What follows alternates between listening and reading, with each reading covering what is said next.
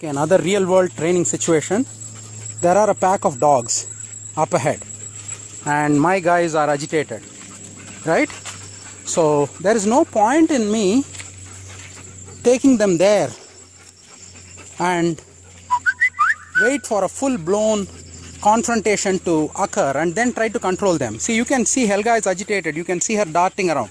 So, I'm going to make her sit. Helga sitz, Sada sitz. Good. And I'm just going to wait. I'm going to wait till they calm down. You can see her not calming down. So, if she doesn't calm down, I'm going to ask her to lie down. Now it's time for us to go. This is all it takes to calm the dog down. This is called management. This is called incompatible behavior. See, right now she is concentrating on me and she can't concentrate on picking a fight with those dogs. So once she is calm, I'll say, Helga, Polamba, Odia, Sada, let's go. Bummi Vada.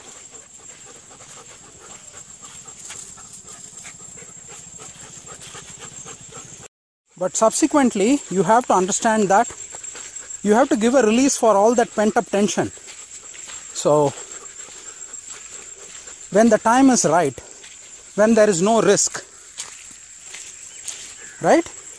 You can say, Odu, Odu, Sada, Odu, Ma, Po, Po, Po, Helga, Odu, Odu, Odu, Po, Mundu par.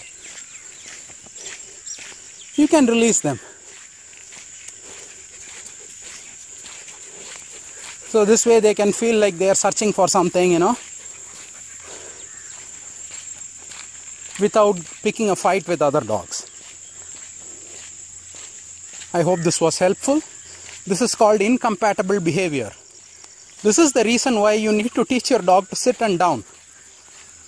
Teaching a dog to sit and down is probably the stupidest thing we can teach the dog because the dog is born knowing how to sit and born knowing how to down.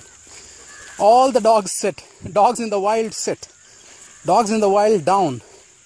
So we have to understand that we are not teaching the dog anything.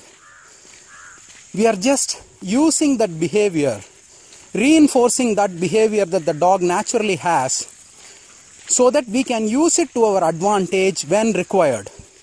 It's like a lever with which you can control the dog's behavior. The dog is born with that behavior. You don't teach the dog anything, you know, you are not teaching the dog to play the piano, right? The dog is born knowing how to sit, how to down, how to heel, how to look at you, how to retrieve. It is born knowing that.